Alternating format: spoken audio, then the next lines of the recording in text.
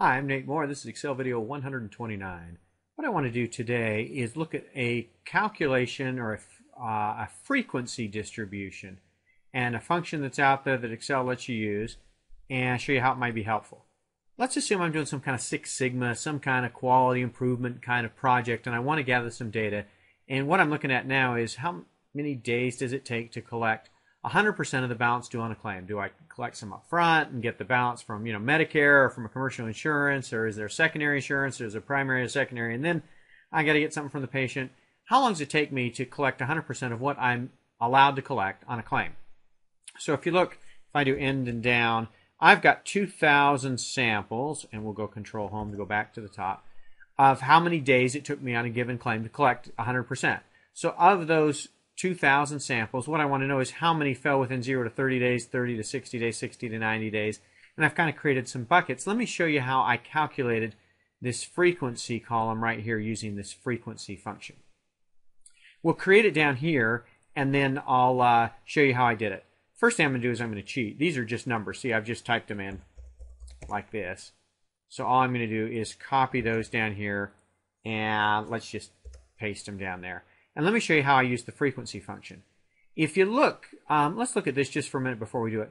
Notice these little these brackets that are different around the outside of the formula there and there. What that tells you is we're playing with an array function, A-R-R-A-Y, an array function that uh, is special to, uh, it's a different kind of function. There's, there's some tricks to it. Let me show you how it works. But the, the function itself is not all that difficult. It says, all right, show me the frequency A3 to A2002 is the data that I want to see, and what C3 to C10 is, is my buckets. So I'm just going to change my buckets to C13 to C20 and show you how it works. To enter an array function, what I'm going to do is I'm going to highlight the entire range where I want the function to go, and I'm going to type equals frequency, and Excel says, hey, I've only got one function that starts with FRE, I know what you're after. And it wants the data array and then the bins array. Well, I know the data array is from A 3 to A2002. We can F4 those if we want. I don't know that we have to in this example, but we can lock that in so that when we move it down, we've got it.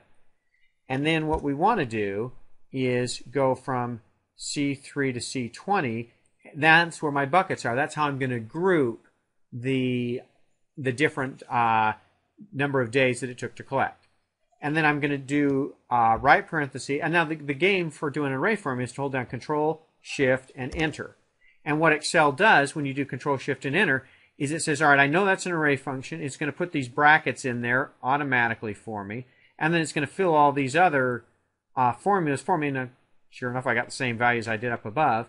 And then the other trick to using frequency is notice how I've got a 0 and a 210. I happen to know, because I made up the data, that none of the claims were collected in less than zero days. Well, that makes sense. And none of them took more than 180 days. So what I've done is I've put uh, a bucket at the at the outer edges, if you will, at the top and the bottom of my range, so that I make sure I've got everything. And at the end of the day, I can highlight these and see down at the bottom. Yeah, I have 2,000 of my uh, 2,000 claims in my frequency, and I have 2,000 claims in my sample, so I know I got them all. But I put a zero at the top and a zero and the 210 at the bottom. With when the frequency goes to zero, which tells me okay, I've got all the pieces inside my range. And then you need to understand what does this 327 mean? Well, it means that I found 327 claims that were between 0 and 30 days, and 449 claims that were between 60 and 30 days, and 494 that were between 90 and 60 days. And that's how to read it. And to make life a lot easier, what I did was I just did a little formula like this that calculates how it works. And if you look at my formula, all it's, in fact, I should be able to copy and paste it.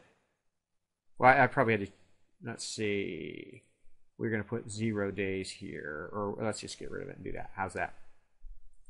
What this formula does is say take C13, which is this. The ampersand sign just means add this text field, which is just my hyphen the, the, between the 0 and the 30. I'm putting that hyphen in. Put a space, and then put C14 in, and put a space and days. And that's how I can copy this formula down. And it's just taking 0, hyphen 30 putting a day, 0 hyphen 30 hyphen 60 putting a days. And it goes down through here to make it really easy to calculate. Once I've got this, then I've got a pretty easy chart to just go through and chart this onto this chart.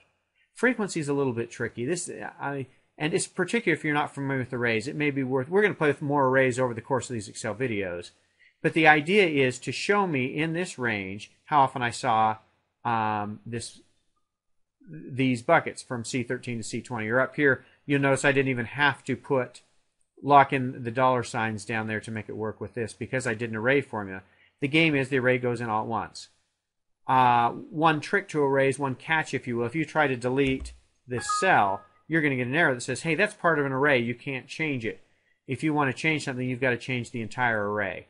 The pro is if you got somebody that's not familiar with spreadsheets, they're going to have a tougher time deleting that cell.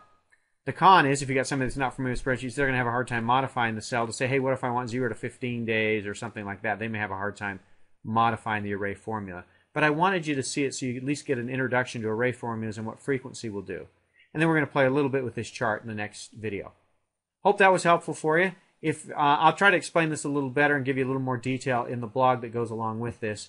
You may ch check that as well for a little more information. Thanks for watching.